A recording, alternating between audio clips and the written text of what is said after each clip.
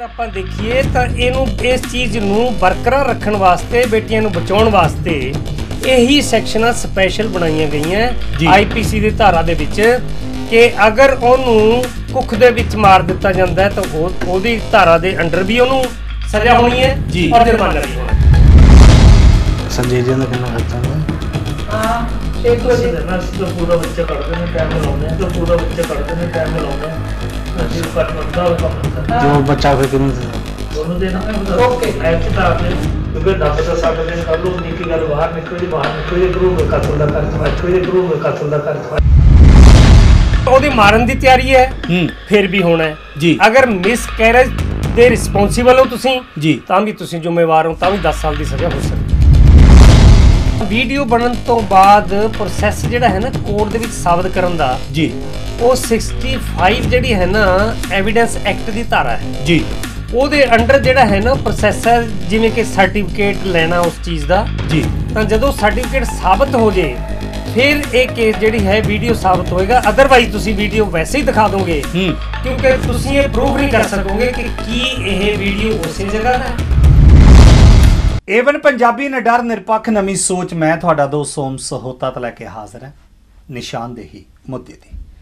ਇਸ ਪ੍ਰੋਗਰਾਮ ਦੇ ਤਹਿਤ ਅੱਜ ਗੱਲ ਕਰਾਂਗੇ ਭਾਰਤ ਸਰਕਾਰ ਵੱਲੋਂ ਇੱਕ ਮੁਹਿੰਮ ਸ਼ੁਰੂ ਕੀਤੀ ਗਈ ਸੀ, ਬੇਟੀ ਬਚਾਓ, ਬੇਟੀ ਪੜਾਓ ਜੋ ਅੱਜ ਵੀ ਬਰਕਰਾਰ ਹੈ। ਔਰ ਉਸ ਮੁਹਿੰਮ ਨੇ ਸੱਚਮੁੱਚ ਇਸ ਕਦਰ ਜਿਹੜੇ ਅੰਕੜੇ ਨੇ, ਬੱਚੀਆਂ ਦੇ ਡਿਗੇ ਹੋਏ ਅੰਕੜੇ ਸਨ, ਉਹ ਇੱਕਦਮ ਫਿਰ ਉੱਠ ਕੇ ਖੜੇ ਹੋ ਗਏ। ਮਤਲਬ ਲੜਕਿਆਂ ਦੇ ਬਰਾਬਰ ਕਿਤੇ ਨਾ ਕਿਤੇ ਲੜਕੀਆਂ ਦੀ ਜਿਹੜੀ ਗਿਣਤੀ ਹੈ, ਉਹ ਪੂਰੀ ਹੋ ਰਹੀ ਹੈ। ਲੇਕਿਨ ਦੋਸਤੋ ਕੁਝ ਇੱਕ ਲੋਕ ਅਜੇ ਵੀ ਨੇ ਜੋ ਲੜਕੀਆਂ ਨੂੰ ਇਸ ਦੁਨੀਆ ਵਿੱਚ ਆਉਣ ਤੋਂ ਪਹਿਲਾਂ ਹੀ ਉਹਨਾਂ ਨੂੰ ਮਾਰਨ ਦੀ ਬਿਉਂਤਬੰਦੀ ਦੇ ਵਿੱਚ ਫਸੇ ਹੋਏ ਨੇ।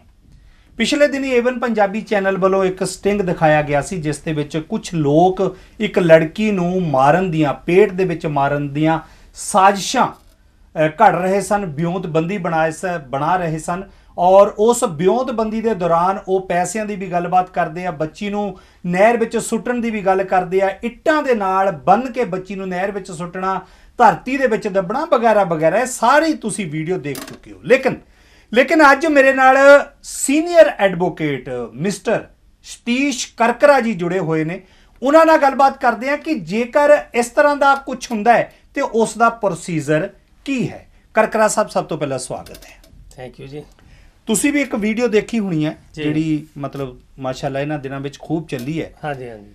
ਜੇਕਰ ਉਸ ਵੀਡੀਓ ਤੋਂ ਪਹਿਲਾਂ ਆਪਾਂ ਪ੍ਰੋਸੈਸ ਦੀ ਗੱਲ ਕਰੀਏ ਕਰਕਰਾ ਸਾਹਿਬ। ਤੇ ਪ੍ਰੋਸੈਸ ਕੀ ਹੁੰਦਾ ਇਸ ਸਾਰੀਆਂ ਚੀਜ਼ਾਂ ਨੂੰ ਲੈ ਕੇ ਦੇਖੋ ਇਸ ਤਰ੍ਹਾਂ ਹੈ ਕਿ ਜਿਹੜੀ ਤੁਸਨੇ ਅੱਜ ਡਿਸਕਸ਼ਨ ਕੀਤੀ ਹੈ ਇਹਦੇ ਮੁਤਾਬਕ ਇਹ ਹੈ ਕਿ ਅਲੱਗ-ਅਲੱਗ ਸੈਕਸ਼ਨ ਜਿਹੜੀਆਂ ਆਈਪੀਸੀ ਦੀਆਂ ਉਹ ਲੱਗਦੀਆਂ ਜਿਵੇਂ ਕਿ ਬੱਚੇ ਨੂੰ ਗਰਭਪਾਤ ਦੇ ਵਿੱਚ ਮਾਰਨਾ ਜਾਂ ਬੱਚੇ ਦੀ ਪੈਦਾਇਸ਼ ਤੋਂ ਬਾਅਦ ਮਾਰਨਾ ਜੀ। ਤਾਂ ਇਹ ਸੈਕਸ਼ਨ 314 ਤੋਂ ਲੈ ਕੇ 316 ਤੱਕ ਜਿਹੜੀ ਹੈ ਉਹਦੇ ਵਿੱਚ ਸਜ਼ਾ ਹੋ ਸਕਦੀ ਹੈ। ਜੀ। ਵਿੱਚ ਹੀ ਡਾਕਟਰ ਨੂੰ ਕਰਨ ਵਾਲੇ ਨੂੰ ਔਰ ਵਿੱਚ ਹੀ ਜਿਹੜੇ ਰਿਸਪੌਂਸੀਬਲ ਹੁੰਦੇ ਆ ਉਹਨੂੰ। ਜੀ। ਤਾਂ ਇਸ ਤਰ੍ਹਾਂ ਦੀਆਂ ਜਿਹੜੀਆਂ ਹਰਕਤਾਂ ਕਰਦੇ ਆ ਲੋਕ ਕਿਉਂਕਿ ਜਿਸ ਚੀਜ਼ ਪਿੱਛੇ ਯਾਨੀ ਕਿਸੇ ਨੂੰ ਰੋਕ ਲਾਈ ਗਈ ਹੋਵੇ ਕਾਨੂੰਨ ਰਾਹੀਂ ਤਾਂ ਉਹਦੀ ਉਲੰਘਣਾ ਕਰਨਾ ਨੈਚੁਰਲੀ ਹੈ ਕਿ ਸੈਕਸ਼ਨ ਦੇ ਮੁਤਾਬਕ ਹੀ ਉਹਨੂੰ ਸਜ਼ਾ ਮਿਲਣੀ ਹੈ। ਜੀ। ਇਹਦੇ ਵਿੱਚ ਵੀ ਇਸੇ ਤਰ੍ਹਾਂ 314 315 316 ਸੈਕਸ਼ਨ ਹੈ ਆਈਪੀਸੀ ਦੀ ਜਿਹਦੇ ਅੰਡਰ ਜਿਹੜੀ ਹੈ ਉਹਨਾਂ ਨੂੰ ਸਜ਼ਾ 10 ਸਾਲ ਤੱਕ ਵੀ ਹੋ ਸਕਦੀ ਹੈ। ਜੀ। ਔਰ ਦੂਸਰੇ ਪਾਸੇ ਜਦੋਂ ਬੱਚੇ ਦਾ ਜਨਮ ਮਤਲਬ ਬੱਚੇ ਦਾ ਜਨਮ ਨਹੀਂ ਹੁੰਦਾ ਹੈ, ਉਸ ਨੂੰ ਪੇਟ ਦੇ ਵਿੱਚ ਹੀ ਖਤਮ ਕਰਨ ਦੀਆਂ ਮਤਲਬ ਖਤਮ ਕਰਨ ਦੇ ਜੇਕਰ ਸਬੂਤ ਨਾ ਹੋਣ ਵਿਉਂਤਬੰਦੀ ਬਣਾਈ ਜਾਵੇ ਤਾਂ ਉਸ ਵਿਉਂਤਬੰਦੀ ਦੇ ਆਧਾਰ ਤੇ ਵੀ ਕੋਈ ਸਜ਼ਾ ਹੋ ਸਕਦੀ ਹੈ। ਯੈਸ ਉਹਦੇ ਵਿੱਚ ਇਹ ਹੈ ਕਿ ਡਾਕਟਰ ਰਿਸਪੌਂਸੀਬਲ ਹੈ। ਜੀ। ਅਗਰ ਡਾਕਟਰ ਵਿਉਂਤਬੰਦੀ ਦੇ ਵਿੱਚ ਫੜਿਆ ਜਾਂਦਾ ਵਿਉਂਤਬੰਦੀ ਕਰਦਾ ਜੇਕਰ ਉੱਥੇ ਬੈਠਾ ਹੋਵੇ ਵਿੱਚ ਬੈਠਾ ਉਸ ਹੋਵੇ। ਬੈਠਾ ਹੋਵੇ। ਜੀ ਪ੍ਰੈਜ਼ੈਂਟ ਹੋਵੇ। ਯੈਸ ਔਰ ਵਿਉਂਤਬੰਦੀ ਦੇ ਵਿੱਚ ਇਹ ਸਾਬਤ ਹੋ ਜੇ ਕਿ ਇਹ ਕਰਨ ਵਾਸਤੇ ਤਿਆਰ ਹੈ। ਜੀ। ਔਰ ਦੂਸਰੀ ਗੱਲ ਇਹ ਹੈ ਕਿ ਅਗਰ ਉਹ ਸਰਕਾਰੀ ਡਾਕਟਰ ਹੈ ਜੀ। ਤਾਂ ਉਹਦੀ ਡਿਪਾਰਟਮੈਂਟਲ ਇਨਕੁਆਰੀ ਹੋਏਗੀ। ਡਿਪਾਰਟਮੈਂਟਲ ਇਨਕੁਆਰੀ ਦੇ ਵਿੱਚ ਅਗਰ ਉਹ ਕਸੂਰਵਾਰ ਪਾਇਆ ਜਾਂਦਾ ਹੈ ਸਸਪੈਂਸ਼ਨ ਤੋਂ ਇਲਾਵਾ ਵੀ ਡਿਪਾਰਟਮੈਂਟ ਦੇ ਵਿੱਚ ਉਹਨੂੰ ਡਿਸਮਿਸ ਵੀ ਕੀਤਾ ਜਾ ਸਕਦਾ ਹੈ। ਜੀ। ਅੱਛਾ ਮਤਲਬ ਐਡਵੋਕੇਟ ਸਾਹਿਬ ਇੱਕ ਜਿਹੜਾ ਪ੍ਰਸ਼ਨ ਹਮੇਸ਼ਾ ਜ਼ਿਹਨ ਦੇ ਵਿੱਚ ਹੈ ਇੱਕ ਪਾਸੇ ਤਾਂ ਸਰਕਾਰ ਰੋਕ ਲਗਾ ਰਹੀ ਹੈ। ਬੜੀ ਸਖਤੀ ਦੇ ਨਾਲ ਤੁਸੀਂ ਵੀ ਖੈਰ ਇਸ ਜ਼ਿੰਮੇਵਾਰ ਹੋ ਇੱਕ। ਬੜੀ ਸਖਤੀ ਦੇ ਨਾਲ ਬੇਟੀ ਬਚਾਉਣ ਦੀ ਕੋਸ਼ਿਸ਼ ਕੀਤੀ ਜਾ ਰਹੀ ਹੈ ਉਹਨੂੰ ਪੜਾਉਣ ਦੀ ਕੋਸ਼ਿਸ਼ ਕੀਤੀ ਜਾ ਰਹੀ ਹੈ। ਜਦੋਂ ਸਮਾਜ ਦੇ ਵਿੱਚ ਕੁਝ ਇੱਕ ਲੋਕ ਅਜਿਹੇ ਲੋਕ ਹੁੰਦੇ ਨੇ ਜੋ ਸਾਰੇ ਕੁਝ ਪਿੱਛੇ ਰੱਖ ਕੇ ਚੰਦ ਸਿੱਕਿਆਂ ਦੀ ਖਾਤਰ ਉਸ ਨੂੰ ਅੱਗੇ ਲਿਆਉਣਾ ਚਾਹੁੰਦੇ ਨੇ ਤੇ ਉਹ ਲੋਕ ਜਿਹੜੇ ਨੇ ਉਹ- ਕਿੰਨੇ ਕੁ ਮਤਲਬ ਸਮਾਜ ਦੇ ਦੇਣਦਾਰ ਹੋ ਸਕਦੇ ਇਹ ਸਾਡੀ ਨਾ ਤਰਾਸਦੀ ਹੈ ਕਿ ਕੁਝ ਲੋਕ ਇਸ ਤਰ੍ਹਾਂ ਦੀਆਂ ਲੋਕਾਂ ਨੂੰ ਅੱਗੇ ਵੀ ਸਿੱਖਿਆ ਦਿੰਦੇ ਆ ਹੂੰ। ਦੇਖੋ ਬੇਟੀ ਪੜਾਓ ਬੇਟੀ ਬਚਾਓ। ਜੀ। ਇਸ ਦਾ ਨਾਰਾ ਇਸ ਕਰਕੇ ਲਾਇਆ ਗਿਆ ਹੈ ਕਿ ਬੇਟੀਆਂ ਨੂੰ ਕੁੱਖ ਦੇ ਵਿੱਚ ਮਾਰ ਦਿੱਤਾ ਜਾਂਦਾ ਸੀ। ਜੀ। ਉਹਨਾਂ ਨੂੰ ਇਸ ਚੀਜ਼ ਨੂੰ ਰੋਕਣ ਵਾਸਤੇ ਦੇਖੋ ਅੱਜ ਕੱਲ ਬੇਟੀ ਕਿੱਥੋਂ ਤੱਕ ਪਹੁੰਚ ਗਈ ਹੈ? ਹੂੰ, ਬਿਲਕੁਲ ਬਿਲਕੁਲ। ਜਿੱਥੋਂ ਤੱਕ ਕਿ ਲੜਕੇ ਵੀ ਨਹੀਂ ਪਹੁੰਚ ਸਕਦੇ। ਜੀ ਜੀ। ਤਾਂ ਇਹ ਚੀਜ਼ਾਂ ਨੂੰ ਮੁੱਖ ਰੱਖਦੇ ਹੋਏ ਇਨਸਾਨੀਅਤ ਉਹਨਾਂ 'ਚ ਵੀ ਹੈ ਇਨਸਾਨੀਅਤ ਸਾਡੇ 'ਚ ਵੀ ਹੈ। ਜੀ। ਇੰਨੀ ਪੜ੍ਹਾਈ ਉਹ ਕਰਦੀਆਂ ਇੰਨੀ ਪੜ੍ਹਾਈ ਅਸੀਂ ਕਰਦੇ ਹਾਂ। ਬਿਲਕੁਲ ਬਿਲਕੁਲ। ਉਹ ਉਹ ਵੀ ਆਫੀਸਰ ਨੇ ਆਪਾਂ ਵੀ ਆਫੀਸਰ ਨੇ। ਆਫੀਸਰ ਨੇ ਬਿਲਕੁਲ। ਇਹ ਚੀਜ਼ਾਂ ਅਗਰ ਆਪਾਂ ਦੇਖੀਏ ਤਾਂ ਇਹਨੂੰ ਇਸ ਚੀਜ਼ ਨੂੰ ਬਰਕਰਾਰ ਰੱਖਣ ਵਾਸਤੇ ਬੇਟੀਆਂ ਨੂੰ ਬਚਾਉਣ ਵਾਸਤੇ ਇਹੀ ਸੈਕਸ਼ਨਾਂ ਸਪੈਸ਼ਲ ਬਣਾਈਆਂ ਗਈਆਂ। ਆਈਪੀਸੀ ਦੀ ਧਾਰਾ ਦੇ ਵਿੱਚ ਕਿ ਅਗਰ ਉਹਨੂੰ ਕੁੱਖ ਦੇ ਵਿੱਚ ਮਾਰ ਦਿੱਤਾ ਜਾਂਦਾ ਹੈ ਤਾਂ ਉਹ ਉਹਦੀ ਧਾਰਾ ਦੇ ਅੰਡਰ ਵੀ ਉਹਨੂੰ ਸਜ਼ਾ ਹੋਣੀ ਹੈ। ਔਰ ਜੁਰਮਾਨਾ ਵੀ ਹੋਣਾ ਹੈ। ਜੀ। ਅਗਰ ਉਹਦੇ ਮਾਰਨ ਦੀ ਤਿਆਰੀ ਹੈ ਹੂੰ। ਫਿਰ ਵੀ ਹੋਣਾ ਹੈ। ਜੀ। ਅਗਰ ਮਿਸ ਕੈਰੇਜ ਦੇ ਰਿਸਪੌਂਸੀਬਲ ਹੋ ਤੁਸੀਂ ਜੀ। ਤਾਂ ਵੀ ਤੁਸੀਂ ਜ਼ਿੰਮੇਵਾਰ ਹੋ ਤਾਂ ਵੀ 10 ਸਾਲ ਦੀ ਸਜ਼ਾ ਹੋ ਸਕਦੀ ਹੈ। ਹੋ ਸਕਦੀ ਹੈ। ਜੀ। ਮਤਲਬ ਫਿਰ ਉਹਦੇ ਵਾਸਤੇ ਕਿਸੇ ਨਾ ਕਿਸੇ ਨੂੰ ਅੱਗੇ ਆਉਣਾ ਪਏਗਾ? ਯੈਸ ਉਹਦੇ ਵਾਸਤੇ ਅੱਗੇ ਆਉਣਾ ਪਏਗਾ ਦੇਖੋ ਕੋਈ ਕੰਪਲੇਨੈਂਟ ਤਾਂ ਹੋਏਗਾ। ਜੀ। ਜੇ ਸਰਕਾਰੀ ਡਾਕਟਰ ਹੈ ਤਾਂ ਉਹਦਾ ਆਫੀਸਰ ਜਿਹੜਾ ਹੈ ਉਹਦੀ ਇੰਟਰਵਿਊ ਲੈ ਰਿਹਾ ਹੈ ਤਾਂ ਨੇਚਰਲੀ ਉਹ ਰਿਸਪੌਂਸੀਬਲ ਹੈ। ਉਹ ਕੰਪਲੇਨੈਂਟ ਬਣੇਗਾ ਕੰਪਲੇਨੈਂਟ ਬਣ ਕੇ ਪਰਚਾ ਦਰਜ ਕਰਾਏਗਾ ਪਰਚਾ ਦਰਜ ਹੋਏਗਾ ਤਾਂ ਨੇਚਰਲੀ ਪ੍ਰੋਸੈਸ ਅੱਗੇ ਮਤਲਬ ਜਿਹੜਾ ਪਰਚਾ ਦਰਜ ਕਰਵਾਉਣ ਵਾਲਾ ਇੱਕ ਨਾ ਇੱਕ ਸ਼ਖਸ ਜ਼ਰੂਰ ਹੋਣਾ ਚਾਹੀਦਾ। ਜ਼ਰੂਰ ਹੋਣਾ ਚਾਹੀਦਾ। ਕੁਝ ਇਹੋ ਜਿਹੇ ਸ਼ਖਸ ਵੀ ਆ ਜਿਨ੍ਹਾਂ ਦੇ ਉੱਪਰ ਪਰਚੇ ਪਹਿਲਾਂ ਆਲਰੇਡੀ ਦਰਜ ਨੇ। ਜੀ। ਲੇਕਿਨ ਉਹ ਫਿਰ ਵੀ ਮਤਲਬ ਇਸ ਬਿਉਂਤਬੰਦੀ ਦੇ ਵਿੱਚ ਕਿਤੇ ਨਾ ਕਿਤੇ ਨਜ਼ਰ ਆ ਰਹੇ ਨੇ। ਉਹ ਇਸ ਤਰ੍ਹਾਂ ਜੀ ਕਿ ਅਗਰ ਉਹ ਬਿਉਂਤਬੰਦੀ ਦੇ ਵਿੱਚ ਨਜ਼ਰ ਆ ਰਹੇ ਹੈ ਤਾਂ ਡਿਪਾਰਟਮੈਂਟ ਦੀ ਮਰਜ਼ੀ ਹੈ ਇਹ। ਜੀ। ਕਿ ਕੀ ਉਹਨੂੰ ਸਜ਼ਾ ਹੋ ਚੁੱਕੀ ਹੈ? ਹੂੰ। ਅਗਰ ਸਜ਼ਾ ਹੋ ਚੁੱਕੀ ਹੈ ਤਾਂ ਨੈਚੁਰਲੀ ਹੈ ਕਿ ਉਹਦੇ ਤੇ ਐਕਸ਼ਨ ਆਏਗਾ ਹੀ ਆਏਗਾ ਉਹ ਸਰਕਾਰੀ ਨੌਕਰੀ ਦੇ ਵਿੱਚ ਨਹੀਂ ਰਹਿ ਸਕੇਗਾ। ਲੇਕਿਨ ਉਸ ਦੇ ਬਾਵਜੂਦ ਵੀ ਜੇਕਰ ਉਹ ਰਹੇ ਤਾਂ? ਹਾਂ ਅਗਰ ਉਹ ਰਹੇ ਤਾਂ ਫਿਰ ਨੈਚੁਰਲੀ ਹੈ ਕਿ ਆਫੀਸਰ ਦੀ ਜਿਹੜੀ ਹੈ ਨਾ ਉਹ ਪੁੱਛਗਿੱਛ ਹੋ ਸਕਦੀ ਹੈ। ਕਿ ਕਿਸ ਤਰ੍ਹਾਂ ਨੌਕਰੀ ਦੇ ਵਿੱਚ ਹੈ? ਜੀ। ਕਿਸ ਕੈਪੈਸਿਟੀ ਦੇ ਵਿੱਚ ਹੈ? ਲੇਕਿਨ ਵੱਡੀ ਗੱਲ ਹੈ ਕਰਕਰਾ ਸਾਹਿਬ ਕਿ ਇੰਨਾ ਕੁਝ ਹੋ ਗਿਆ ਹੈ ਪ੍ਰਸ਼ਾਸਨ ਦੇ ਨਾਲ ਏਵਨ ਪੰਜਾਬੀ ਚੈਨਲ ਵੱਲੋਂ ਬਕਾਇਦਾ ਤੌਰ ਤੇ ਸੰਪਰਕ ਵੀ ਕੀਤਾ ਜਾ ਰਿਹਾ ਹੈ। ਕਿ ਉਹਨਾਂ ਦੇ ਖਿਲਾਫ ਹਜੇ ਤੱਕ ਪ੍ਰਸ਼ਾਸਨ ਨੇ ਕੀ ਕਾਰਵਾਈ ਕੀਤੀ ਹੈ? ਕਿ ਪ੍ਰਸ਼ਾਸਨ ਇੰਨੀ ਢਿੱਲੀ ਮਤਲਬ ਕਾਰਜਗੁਜ਼ਾਰੀ ਜਿਹੜੀ ਉਸ ਦੀ ਮਤਲਬ ਜਾਣ ਦੀ ਜਿਹੜੀ ਉਸ ਦੇ ਖਿਲਾਫ ਕੋਈ ਕਾਰਵਾਈ ਕਰਨ ਦੀ ਦੇਰੀ ਜਿਹੜੇ ਕਰ ਰਹੇ ਨੇ ਉਹਦੇ ਵਿੱਚ ਵੀ ਕੁਝ ਹੈ ਹੋ ਸਕਦਾ ਹੈ? ਕਾਰਗੁਜ਼ਾਰੀ ਦੇ ਵਿੱਚ ਅਗਰ ਦੇਰੀ ਹੁੰਦੀ ਹੈ ਤਾਂ ਆਫੀਸਰ ਤਾਂ ਪੂਰੇ ਜ਼ਿੰਮੇਵਾਰ ਇਸ ਮਤ ਇਸ ਵਜ੍ਹਾ ਕਰਕੇ। ਜੀ। ਔਰ ਅਗਰ ਆਫੀਸਰ ਜ਼ਿੰਮੇਵਾਰ ਹੈ ਹੂੰ। ਤਾਂ ਜਿਹੜਾ ਕੰਪਲੇਨੈਂਟ ਅਗਰ ਕੋਈ ਬਾਹਰ ਲੈ ਜੀ ਜੀ। ਤਾਂ ਉਹਦੀ ਕੰਪਲੇਂਟ ਦੇ ਆਧਾਰ ਤੇ ਹੂੰ। ਜਦੋਂ ਕੋਰਟ ਦੇ ਵਿੱਚ ਕੇਸ ਚੱਲੇਗਾ ਤਾਂ ਆਫੀਸਰ ਵੀ ਇਨਵੋਲਵ ਹੋ ਸਕਦਾ ਬਾਅਦ ਦੇ ਵਿੱਚ ਵੀ ਇਨਵੋਲਵ ਹੋ ਸਕਦਾ। ਉਸ ਤੋਂ ਬਾਅਦ ਵੀ ਹੋ ਸਕਦਾ। ਯੈਸ ਯੈਸ ਅੱਛਾ ਕਰਕਰਾ ਸਾਹਿਬ ਜਦੋਂ ਪਰਚਾ ਦਰਜ ਹੋ ਜਾਂਦਾ ਹੈ ਤੇ ਉਸ ਤੋਂ ਬਾਅਦ ਕੀ ਪ੍ਰੋਸੈਸ ਹੁੰਦਾ? ਸਜ਼ਾ ਦੀ ਮਤਲਬ ਕੀ ਮਤਲਬ ਹੁੰਦਾ ਉਸ ਦਾ ਜਿਹੜਾ ਅੱਗੇ ਪ੍ਰੋਸੈਸ ਕੀ ਹੈ? ਜੀ। ਉਹ ਸੋਤਾ ਸਾਹਿਬ ਇਸ ਤਰ੍ਹਾਂ ਹੈ ਕਿ ਮੰਨ ਲਓ ਐਫ ਆਈ ਆਰ ਦਰਜ ਹੋ ਗਈ। ਜੀ। ਉਹਦੇ ਵਿੱਚ ਡਾਕਟਰ ਇਨਵੋਲਵ ਹੈ। ਜੀ। ਤਾਂ ਸਭ ਤੋਂ ਪਹਿਲਾਂ ਤਾਂ ਇਹ ਹੈ ਕਿ ਪੁਲਿਸ ਜਿਹੜੀ ਹੈ ਨਾ ਐਵੀਡੈਂਸ ਕਲੈਕਟ ਕਰੇਗੀ। ਜੀ। ਐਵੀਡੈਂਸ ਕਲੈਕਟ ਕਰਨ ਤੋਂ ਬਾਅਦ ਨੈਕਸਟ ਜਿਹੜਾ ਹੈ ਨਾ ਚਲਾਨ ਪੇਸ਼ ਹੁੰਦਾ ਜੀ। ਕੋਰਟ ਦੇ ਵਿੱਚ। ਜੀ। ਚਲਾਨ ਪੇਸ਼ ਹੋਣ ਤੋਂ ਬਾਅਦ ਗਵਾਹੀਆਂ ਹੁੰਦੀਆਂ ਜੀ। ਤਾਂ ਗਵਾਹੀਆਂ ਤੋਂ ਬਾਅਦ ਜਿਹੜੇ ਹੈ ਨਾ ਜਿਹੜਾ ਡਿਫੈਂਸ ਹੈ। ਮੁਲਜ਼ਮ ਹੈ ਜਿਹੜਾ ਜੀ। ਉਹ ਆਪਣੀਆਂ ਗਵਾਹੀਆਂ ਲਿਆਊਗਾ। ਬਿਲਕੁਲ। ਤਾਂ ਇਹ ਸਾਰੀਆਂ ਗਵਾਹੀਆਂ ਨੂੰ ਜਦੋਂ ਜੱਜ ਸਾਹਿਬ ਸਕਰੂਟਨਾਈਜ਼ ਕਰਨਗੇ ਜੀ। ਦੇਖਣਗੇ ਜੀ। ਤਾਂ ਉਸ ਤੋਂ ਬਾਅਦ ਸਜ਼ਾ ਜਿਹੜੀ ਹੈ ਦੇਣੀ ਹੈ ਕਿ ਨਹੀਂ ਦੇਣੀ? ਜੀ। ਕੀ ਕੇਸ ਪ੍ਰੂਫ ਹੋ ਗਿਆ ਕਿ ਨਹੀਂ ਹੋਣਾ। ਇਹ ਜੱਜ ਸਾਹਿਬ ਨੇ ਦੇਖਣਾ ਹੈ। ਜੀ। ਤਾਂ ਇਸ ਤੋਂ ਬਾਅਦ ਹੀ ਪ੍ਰੋਸੈਸ ਸਜ਼ਾ ਦਾ ਚੱਲ ਸਕਦਾ। ਮਤਲਬ ਜਦੋਂ ਇਸ ਤਰ੍ਹਾਂ ਹੋਏਗੀ ਤਾਂ ਸਭ ਤੋਂ ਪਹਿਲਾਂ ਉਹ ਇੱਕ ਪਰਚਾ ਦਰਜ ਹੋਏਗਾ। ਬਿਲਕੁਲ ਉਸ ਤੋਂ ਬਾਅਦ ਇਹ ਸਾਰਾ ਜਿਹੜਾ ਪ੍ਰੋਸੀਜਰ ਹਾਂਜੀ। ਸ਼ੁਰੂ ਹੋਏਗਾ। ਪ੍ਰੋਸੀਜਰ ਸ਼ੁਰੂ ਹੋਏਗਾ। ਫਿਰ ਪਰਚਾ ਦਰਜ ਕਰਨਾ ਤਾਂ ਜ਼ਿੰਮੇਵਾਰ ਆਫੀਸਰਾਂ ਨੇ ਹੁੰਦਾ ਸਰ? ਨਹੀਂ। ਪੁਲਿਸ ਨੇ ਪਰਚਾ ਦਰਜ ਕਰਨਾ ਹੁੰਦਾ ਹੈ। ਜੀ। ਕੰਪਲੇਨੈਂਟ ਆਫੀਸਰ ਵੀ ਹੋ ਸਕਦਾ ਯਾਨੀ ਮੈਡੀਕਲ ਡਿਪਾਰਟਮੈਂਟ ਦਾ ਆਫੀਸਰ। ਜਿਵੇਂ ਕਿ ਮੈਂ ਤੁਹਾਨੂੰ ਮਿਸਾਲ ਦੇ ਤੌਰ ਤੇ ਦੱਸਦਾ ਸੀਐਮਓ ਹੈ। ਜੀ। ਅਗਰ ਸੀਐਮਓ ਨੇ ਛਾਪਾ ਮਾਰਿਆ ਹੈ ਔਰ ਉਹਨੇ ਇਹ ਚੀਜ਼ਾਂ ਜਿਹੜੀਆਂ ਹੈ ਫੜੀਆਂ ਜੀ। ਜਿਸ ਤਰ੍ਹਾਂ ਕੋਈ ਇਨਸਟਰੂਮੈਂਟ ਫੜ ਲੇ ਜੀ। ਤੇ ਮੌਕੇ ਤੇ ਜਾ ਕੇ ਮਤਲਬ ਕਿ ਐਕਟੀਵਿਟੀਆਂ ਫੜ ਲਈਆਂ ਫੜ ਲੈ ਬਿਲਕੁਲ ਇਸ ਦੀਆਂ- ਬਿਲਕੁਲ ਜੀ ਤਾਂ ਇਹ ਚੀਜ਼ਾਂ ਜਿਹੜੀਆਂ ਹੈ ਨੇ ਸਾਰੀਆਂ ਕੋਰਟ ਦੇ ਵਿੱਚ ਪੇਸ਼ ਹੋਣਗੀਆਂ ਸੋਤਾ ਸਾਹਿਬ ਹੂੰ ਔਰ ਕੋਰਟ ਦੇ ਵਿੱਚ ਪੇਸ਼ ਹੋਣਗੀਆਂ ਤਾਂ ਪੁਲਿਸ ਨੇ ਪ੍ਰੂਫ ਕਰਨਾ ਹੈ ਇਹ ਕੇਸ ਜੀ ਜੀ ਜਿਵੇਂ ਤੁਸੀਂ ਕਿਹਾ ਨਾ। ਆਖਿਰ ਕੋਈ ਤਾਂ ਕਰੂਗਾ ਹੀ ਬਿਲਕੁਲ ਤਾਂ ਇਹਦੇ ਵਿੱਚ ਪੁਲਿਸ ਨੇ ਹੀ ਪ੍ਰੂਫ ਕਰਨਾ ਹੈ ਕਿ ਅਸੀਂ ਜਿਹੜਾ ਕੇਸ ਦਰਜ ਕੀਤਾ। ਹੈ ਬਕਾਇਦਾ ਗਵਾਹੀਆਂ ਕਲੈਕਟ ਕੀਤੀਆਂ। ਆਹ ਗਵਾਹੀਆਂ ਜਨਾਬ ਦੇ ਪੇਸ਼ ਹੈ। ਤਾਂ ਉਹ ਪੇਸ਼ ਹੋਣ ਤੋਂ ਬਾਅਦ ਕੋਰਟ ਨੇ ਦੇਖਣਾ। ਉਸ ਤੋਂ ਬਾਅਦ ਕੋਰਟ ਨੇ ਦੇਖਣਾ। ਬਈ ਉਸ ਨੂੰ ਸਜ਼ਾ ਦੇਣੀ ਹੈ ਨਹੀਂ ਦੇਣੀ ਕੀ ਇਹ ਕੰਪਲੀਟ ਹੋ ਗਿਆ ਕੇਸ। ਇਹ ਮਾਨਜੋ ਕੋਰਟ ਹੀ। ਦੇਖੇਗਾ। ਕੰਪਲੀਟ ਤੋਂ ਇਲਾਵਾ ਮਤਲਬ ਇਹ ਹੈ ਮੇਰਾ ਕਹਿਣ ਦਾ ਕਿ ਕੀ ਇਹ ਕੇਸ ਜਿਹੜਾ ਹੈ ਮੁਲਜ਼ਮ ਦੇ ਖਿਲਾਫ ਪੂਰੀ ਤਰ੍ਹਾਂ ਨਾਲ ਸਾਬਤ ਹੋ ਗਿਆ ਕਿ ਨਹੀਂ ਹੋ ਗਿਆ? ਹੂੰ। ਅਗਰ ਸਾਬਤ ਹੋ ਗਿਆ ਸਜ਼ਾ ਸਾਬਤ ਨਹੀਂ ਹੋਇਆ ਤਾਂ ਬਰੀ ਹੈ। ਫਿਰ ਨੈਚੁਰਲੀ ਫਿਰ ਤਾਂ ਬਰੀ ਹੈ। ਪਰ ਮਤਲਬ ਜਿਹੜੀ ਵੀਡੀਓ ਖਾਸ ਕਰਕੇ ਹੁੰਦੀ ਆ ਉਹ ਤਾਂ ਫਿਰ ਅਕਸਰ ਮਾਨਜੋ ਕੋਰਟ ਤਾਂ ਉਸ ਵੀਡੀਓ ਨੂੰ ਦੇਖੇਗਾ ਦੇਖੇਗਾ ਨਾ ਵੀ ਆਖਰ ਇਹ ਵੀਡੀਓ ਜਿਹੜੀ ਹੈ ਇਹ ਕਿੱਦਾਂ ਬਣੀ ਆ ਕੀ ਗੱਲਾਂ ਬਾਤਾਂ ਕਰਦੇ ਉਸ ਦੇ ਆਧਾਰ ਤੇ ਕੁਝ ਨਾ ਬਹੁਤ ਤਕੜਾ ਕੁਐਸਚਨ ਪੁੱਛਿਆ ਤੁਸੀਂ। ਜੀ ਜੀ। ਕਿ ਜਿੱਥੇ ਤੱਕ ਵੀਡੀਓ ਦਾ ਸਵਾਲ ਹੈ ਜੀ। ਇਹਦੇ ਵਾਸਤੇ ਨਾ ਇੱਕ ਸੈਕਸ਼ਨ ਅਲੱਗ ਹੈ ਮੈਂ ਦੱਸ ਵੀ ਦਵਾਂ। ਜੀ। ਜਿਹੜੇ ਸਾਡੇ ਦੇਖ ਰਹੇ ਹੈ A1 ਚੈਨਲ ਨੂੰ। ਜੀ। ਮੈਂ ਉਹਨਾਂ ਵਾਸਤੇ ਵੀ ਥੋੜੀ ਜੀ ਮਤਲਬ ਗਾਈਡਲਾਈਨ ਦਊਂਗਾ। ਕਿ ਮੰਨ ਲਓ ਕਿ ਵੀਡੀਓ ਬਣ ਗਈ। ਜੀ।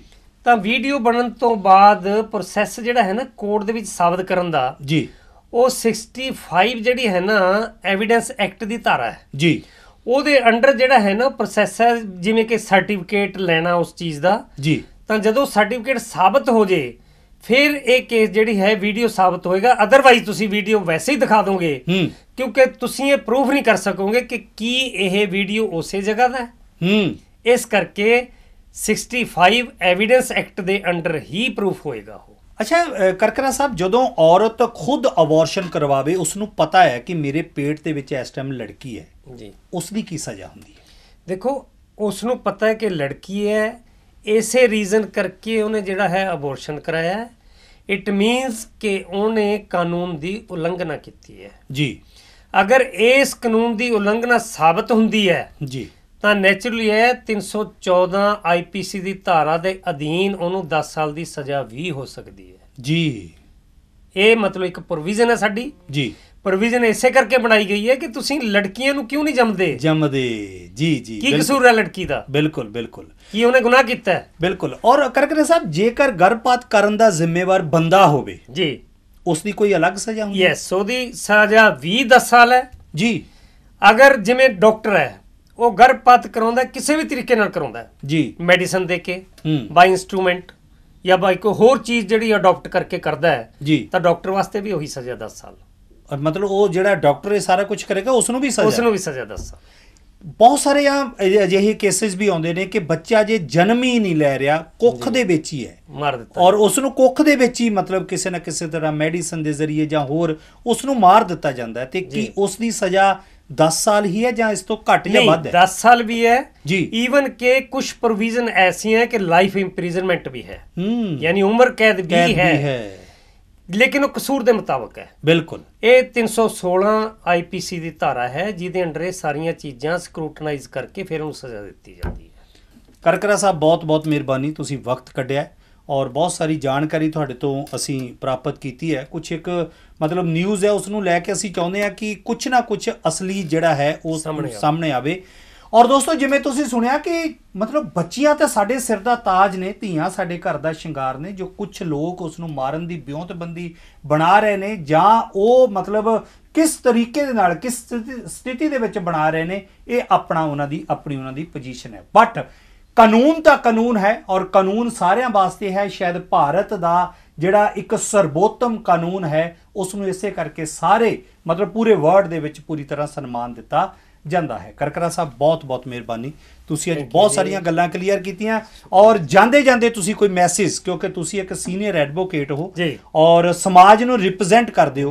ਕੀ ਕਹਿਣਾ ਚਾਹੁੰਦੇ ਹੋ ਇਸ ਵਿਸ਼ੇ? ਸਮਾਜ ਨੂੰ ਮੈਂ ਇਸ ਵਿਸ਼ੇ ਤੇ ਕਹਿਣਾ ਚਾਹੂੰਗਾ ਕਿ ਬੇਟੀਆਂ ਨੂੰ ਕੁੱਖ ਦੇ ਵਿੱਚ ਨਾ ਮਾਰੋ ਕਿਉਂਕਿ ਅੱਜ ਤੁਸੀਂ ਦੇਖ ਰਹੇ ਹੋ ਕਿ ਬੇਟੀਆਂ ਜਿਹੜੀ ਹੈ ਸੰਸਾਰ ਦੇ ਵਿੱਚ ਕਿੱਥੋਂ ਤੱਕ ਪਹੁੰਚ ਚੁੱਕੀਆਂ ਜਿਹੜਾ ਕੰਮ ਬੇਟੇ ਨਹੀਂ ਕਰ ਸਕੇ, ਉਹ ਬੇਟੀਆਂ ਨੇ ਕਰਕੇ ਆਪਦੇ ਮਾਂ-ਬਾਪ ਦਾ ਨਾਮ ਰੋਸ਼ਨ ਕੀਤਾ ਹੈ ਤੇ ਉਹਨਾਂ ਨੇ ਹੀ ਸੰਸਾਰ ਦੇ ਵਿੱਚ ਆਪਦਾ ਐਸਾ ਯੋਗਦਾਨ ਦਿੱਤਾ ਹੈ ਕਿ ਅੱਜ ਅਸੀਂ ਉਹਨਾਂ ਨੂੰ ਭੁਲਾ ਵੀ ਨਹੀਂ ਸਕਦੇ। ਦੇਖੋ, ਜਿੰਨੀਆਂ ਬੇਟੀਆਂ ਆਪਾਂ ਇਹ ਨਹੀਂ ਕਹਿ ਸਕਦੇ, ਡਾਕਟਰ ਹੈ, ਇੰਜੀਨੀਅਰ ਹੈ, ਐਡਵੋਕੇਟਸ ਹੈ ਜੱਜਿਸ ਹੈ ਤਾਂ ਮੈਨੂੰ ਇਹ ਦੱਸਿਆ ਜਾਵੇ ਕਿ ਕਿਹੜੀ ਬੇਟੀ ਹੈ ਜਿਹੜੀ ਜਿਸ ਫੀਲਡ ਦੇ ਵਿੱਚ ਨਹੀਂ ਜਾ ਸਕੀ? ਬਿਲਕੁਲ। ਅਗਰ ਇਹ ਚੀਜ਼ ਸੱਚਾਈ ਹੈ ਤਾਂ ਤੁਸੀਂ ਵੀ ਇਸ ਚੀਜ਼ ਵੱਲ ਗੌਰ ਕਰਕੇ ਤਾਂ ਬੇਟੀਆਂ ਨੂੰ ਪੜ੍ਹਾਓ ਬੇਟੀਆਂ ਨੂੰ ਬਚਾਓ। ਇਹੀ ਮੇਰੀ ਜਿਹੜੀ ਹੈ ਇੱਕ ਸੰਦੇਸ਼ ਹੈ ਸਾਰੇ ਜਣਾਂ ਨੂੰ ਸਾਰੇ ਸਮਾਜ ਨੂੰ ਕਿ ਆਪਾਂ ਅਗਰ ਇਹਨਾਂ ਦਾ ਸਾਥ ਦਵਾਂਗੇ ਤਾਂ ਹੀ ਅੱਗੇ ਵੱਧ ਸਕਾਂਗੇ। ਅਦਰਵਾਈਜ਼ ਦੇਖੋ ਹਰ ਜਗ੍ਹਾ ਤੇ ਇਹ ਹੈ ਕਿ ਜਿੱਥੇ ਔਰਤ ਦਾ ਸਨਮਾਨ ਨਹੀਂ ਹੈ ਉੱਥੇ ਹਮੇਸ਼ਾ ਪੈਰ ਪਿੱਛੇ ਜਾਂਦਾ ਹੈ। ਜਿੱਥੇ ਔਰਤ ਦਾ ਸਨਮਾਨ ਹੈ ਉੱਥੇ ਹੀ ਜਿਹੜੇ ਹੈ ਹਰ ਤਰ੍ਹਾਂ ਨਾਲ ਹਰ ਭਰਪੂਰ ਚੀਜ਼ ਹੁੰਦੀ ਹੈ ਔਰ ਹਰ ਤਰ੍ਹਾਂ ਨਾਲ ਉੱਥੇ ਤਰੱਕੀ ਹੁੰਦੀ ਹੈ ਜਿੱਥੇ ਕਿ ਔਰਤ ਦਾ ਸਨਮਾਨ ਹੋਵੇ। ਬਹੁਤ ਬਹੁਤ ਮਿਹਰਬਾਨੀ ਕਰਕਰਾ ਸਾਹਿਬ। ਸੋ ਦੋਸਤੋ ਤੁਹਾਨੂੰ ਸਾਡਾ ਇਹ ਪ੍ਰੋਗਰਾਮ ਕਿਸ ਤਰ੍ਹਾਂ ਲੱਗਾ ਫੀਡਬੈਕ ਜ਼ਰੂਰ ਦੇਣੀ। ਪ੍ਰੋਗਰਾਮ ਦੇ ਅੰਤ ਵਿੱਚ ਤੁਸੀਂ ਜੁੜੇ ਰਹੋ ਏਵਨ ਪੰਜਾਬੀ ਟੀਵੀ ਨਾਲ। ਮੈਨੂੰ ਆਪਣੇ ਦੋਸਤ ਸੋਮ ਸੋਹੋਤਾ ਨੂੰ ਤੇ ਸਾਡੇ ਬਹੁਤ ਹੀ respected senior advocate mister Satish Karkara ji ਨੂੰ ਦਿਓ। ਇਜਾਜ਼ਤ। ਨਮਸਕਾਰ। ਮੈਂ ਆਪਣੇ ਇਹ ਮੋਢਿਆਂ ਤੇ ਗੋਡਿਆਂ ਤੋਂ ਬਹੁਤ ਦੁਖੀ ਸੀ। ਮੇਰੇ ਲਈ ਤਾਂ ਤੁਰਨਾ ਫਿਰਨਾ ਵੀ ਇੰਨਾ ਔਖਾ ਹੋਇਆ ਸੀ, ਮੈਂ ਦੱਸ ਵੀ ਨਹੀਂ ਸਕਦਾ। ਪਰ ਜਦ ਤੋਂ ਮੈਨੂੰ ਫੀ ਰਿਲੀਫ ਮਿਲਿਆ ਢਾਈ ਤਿੰਨ ਮਹੀਨੇ ਇਸਤੇਮਾਲ ਕਰਨ ਤੋਂ ਬਾਅਦ ਗੋਡੇ ਵੀ ਓਕੇ ਮੋਢੇ ਵੀ ਓਕੇ ਜੇ ਤੁਸੀਂ ਵੀ ਕਿਸੇ ਇਸ ਤਰ੍ਹਾਂ ਦੀ ਬਿਮਾਰੀ ਤੋਂ ਪਰੇਸ਼ਾਨ ਹੋ, ਤੇ ਬੇਸਹਾ, ਬੇਝਿਜਕ ਹੋ ਕੇ ਇਸ ਨੂੰ ਇਸਤੇਮਾਲ ਕਰੋ। ਸਿਰਫ ਢਾਈ ਤਿੰਨ ਮਹੀਨੇ ਇਹ 125 ਬਿਮਾਰੀਆਂ ਤੱਕ ਦੇ ਇਲਾਜ ਕਰ ਸਕਦਾ ਹੈ। ਫੀ ਰਿਲੀਫ ਹਮੇਸ਼ਾ ਯਾਦ ਰੱਖੋ ਬਸ। ਕੁਝ ਦਿਨਾਂ ਤੋਂ ਮੈਨੂੰ ਬਾਲਾਂ ਦੀ ਬੜੀ ਸਮੱਸਿਆ ਸੀ। ਮੇਰੇ ਬਾਲ ਝੜਨੇ ਸ਼ੁਰੂ ਹੋ ਗਏ ਸੀ। ਮੈਨੂੰ ਮੇਰੇ ਦੋਸਤ ਨੇ ਆਇਲ ਫੀ ਰਿਲੀਫ ਵਾਲੇ ਦੱਸਿਆ। ਮੈਂ ਇਹ ਤੇਲ 3 ਕੁ ਮਹੀਨੇ ਲਾਣਾ ਆਪਣੇ ਸਿਰ ਤੇ ਅਪਲਾਈ ਕੀਤਾ। ਇਹ ਬਿਲਕੁਲ ਆਯੁਰਵੈਦਿਕ ਤੇਲ ਹੈ। ਇਹਦਾ ਕੋਈ ਸਾਈਡ ਇਫੈਕਟ ਨਹੀਂ ਹੈ। ਤੇ ਮੇਰੇ ਬਾਲ ਜਿਹੜੇ ਗੰਜਪਣ ਪੈਣਾ ਸ਼ੁਰੂ ਹੋ ਗਿਆ ਸੀ, ਉਹ ਦੁਬਾਰਾ ਆਉਣ ਲੱਗ ਗਏ। ਤੇ ਮੈਨੂੰ ਤਾਂ ਬੜਾ ਫਾਇਦਾ ਦਿੱਤਾ ਇਸ ਨੇ ਜੇ ਤੁਹਾਨੂੰ ਵੀ ਕਿਸੇ ਇਸ ਤਰ੍ਹਾਂ ਦੀ ਪ੍ਰੋਬਲਮ ਦਾ ਤੁਸੀਂ ਸਾਹਮਣਾ ਕਰ ਰਹੇ ਹੋ, ਤਾਂ ਇਹ ਤੇਲ ਲਾਣਾ ਨਾ ਭੁੱਲੋ। ਕਿਤੇ ਨਾ ਕਿਤੇ ਅਸੀਂ ਆਪਣੇ ਬਾਲਾਂ ਕਰਕੇ ਸ਼ਰਮ ਫੀਲ ਕਰਦੇ ਹਾਂ ਕਿਤੇ ਸੋਸਾਇਟੀ 'ਚ ਬੈਠੇ ਹਾਂ ਕਿ ਕੋਈ ਮਜ਼ਾਕ ਨਾ ਕਰ ਰਿਹਾ ਹੋਏ। ਪਰ ਥੈਂਕਸ ਟੂ ਫ੍ਰੀ ਲੀਵ ਜਿਨੇ ਮੇਰਾ ਇਹ ਕੌਨਫੀਡੈਂਸ ਬਿਲਡ ਕੀਤਾ, ਜਿਹਦੇ ਲਗਾਨ ਨਾਲ ਮੈਂ ਮਾਰਕੀਟ 'ਚ ਹੁਣ ਬੜਾ ਹੀ ਕੌਨਫੀਡੈਂਟ ਹਾਂ ਔਰ ਇਹਦੇ ਨਾਲ ਮੈਨੂੰ ਬੜਾ ਫਾਇਦਾ ਹੋਇਆ ਤੇ ਮੈਨੂੰ ਸਰਵਾਈਕਲ ਦੀ ਵੀ ਦਿੱਕਤ ਸੀ ਤੇ ਉਹਦੇ ਨਾਲ ਵੀ ਮੈਨੂੰ ਬੜਾ ਰਿਲੀਫ ਮਿਲਿਆ। ਇਹ ਯੂਜ਼ ਕਰੋ ਤੇ ਮੈਂ ਪ੍ਰੈਕਟੀਕਲ ਯੂਜ਼ ਕਰ ਰਿਹਾ।